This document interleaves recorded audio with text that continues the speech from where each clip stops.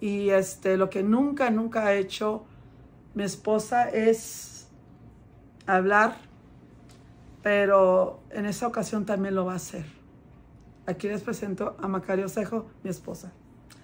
¿Qué tal? Buenas tardes. Eh, antes que nada quiero decir lo mismo. Estoy muy triste, me siento bien nerviosa porque nunca he hecho esto y es muy triste eh, hablar de los amigos, hablar intimidades, hablar cosas que creo que solamente los cuatro pues teníamos, pero yo en lo particular creo y estoy segura que se van a arreglar las cosas, pero hay que ser claros y la verdad es la verdad y lo justo es lo justo. Yo te quiero mucho, Elena, igual que a él. Hemos vivido muchos momentos bonitos, pero creo que no es correcto lo que se está haciendo. Yo voy a contar lo que a mí me consta, lo que yo viví con ellos. No quiero faltar al respeto a nadie. Eh, voy a decir, eh, efectivamente ya lo, ya lo dijo mi esposa, fuimos a un concierto. Eh, lo repito para que quede claro y para que el mensaje sea, ay, no sé, a veces me confundo, ¿verdad? O sea, me confundo en hablar porque es mi primera vez, pero efectivamente después del concierto ellos me fueron a dejar a la casa porque yo soy mujer de casa, eh, respeto el medio, respeto las cosas, pero no me gustan. Entonces, después del concierto me fueron a dejar a mi casa, eh, como dijo Elena. Voy a decir Elena Jiménez, Elena Delfín y Luis, para que no se confundan las Elenas.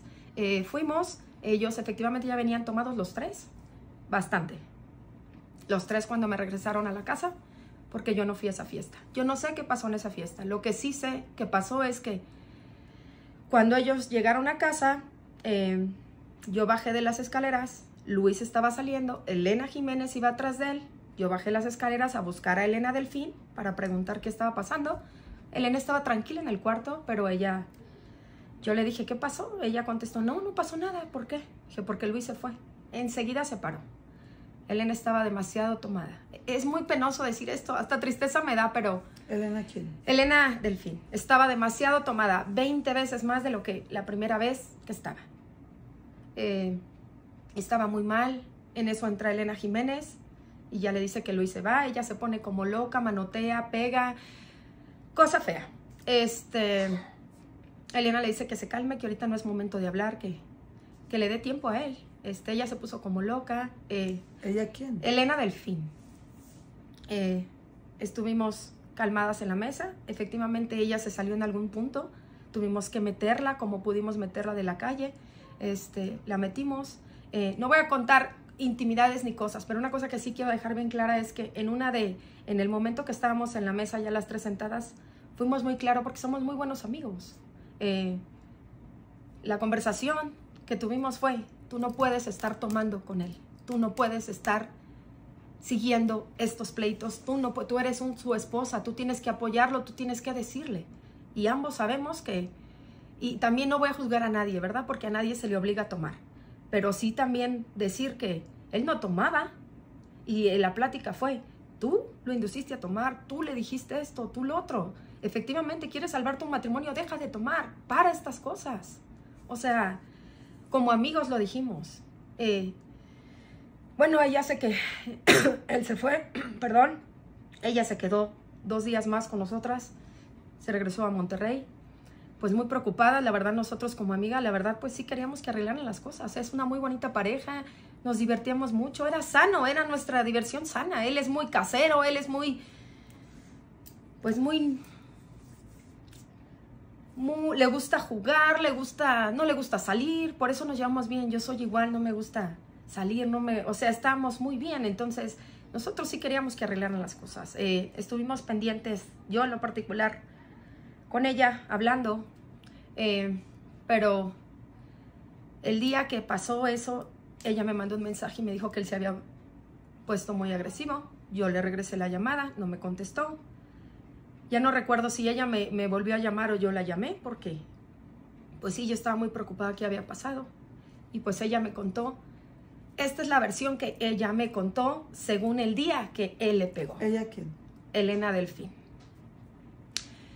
Eh, Luis ya no vivía con ella desde el día del pleito de la casa. Ella ya no, Luis ya no vivía con ella. Ella se fue sola a Monterrey y ella ya estaba sola en casa, en su casa en Monterrey. Ese día fue, no por unas cosas. Eh, él traía una pulsera que le regaló una mujer en Chiapas. Esto es lo que ella me dijo a mí. Eh, él traía una pulsera, ella le pidió que se la quitara, que por eso estaba endemoniado, que desde que tenía esa pulsera él había cambiado, había la relación estaba mal. Él le dijo que no. Él traía dos teléfonos. Él estaba grabando a ella. Ella se le fue encima por quitarle la pulsera. Ella se le fue encima por quitarle el celular. Ella dijo, forcejeamos, manoteamos. Él no se quiso quitar la pulsera. Luego cuando me grabó yo me enojé, le quité quitar el celular. Y pues forcejeamos, porque estaban que no te lo doy, que no, que qué te pasa, que es mi celular, que dámelo, que borre el video. Después, él, por palabras que no voy a decir por respeto y porque no es correcto, eh, él empieza a gritar al hermano de ella que suba y que calme a su hermana. En ese momento subió el hermano y él se fue. Entonces, ella me dijo, yo me fui con los abogados porque pues nos dejamos marcas. Entonces, eso no es golpes. Yo te quiero mucho y me da mucha tristeza hacer esto, pero eso no es golpes. Y también tú hiciste el comentario que ese era tu as bajo la manga.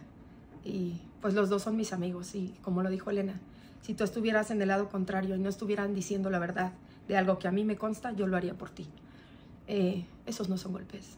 Creo que cuando hay una pelea y forcejeas, porque esos no son golpes, porque entonces él también salió golpeado, si fuera el caso.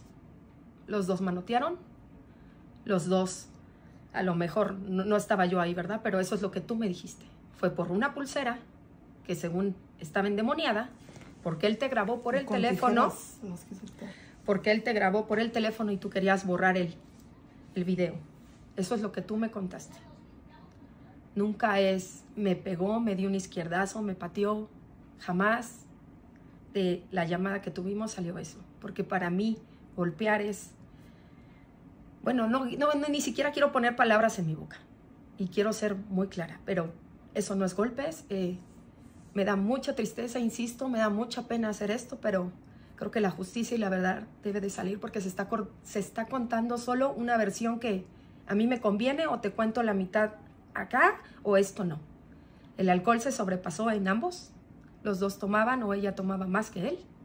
Eh, y ella es una bonita mujer, ella, y de verdad, eh, ella quiso arreglar muchas veces. O sea, muchas de las pláticas que tuvimos era, yo quiero arreglar mi matrimonio, estoy dispuesta a dejar el alcohol, estoy dispuesta a hacer muchas cosas, estoy dispuesta a hacer lo que él me diga, cambios para salvar esto. Entonces, pues ese era el plan, eso era lo que yo como amiga quería para ellos, pero esto se está saliendo fuera de control y yo no puedo, no puedo tampoco decir que eso pasó, porque eso fue el día que tú metiste la demanda y pues fuiste muy clara diciendo que ese era tu vas bajo la manga si él ya no te contestaba el teléfono, si no arreglaban las cosas. Entonces, esos no son golpes. Eh, me da mucha pena, me da mucha tristeza y pues hay que dejárselo al juez, que es el mejor, que es Dios. Eh, pues gracias.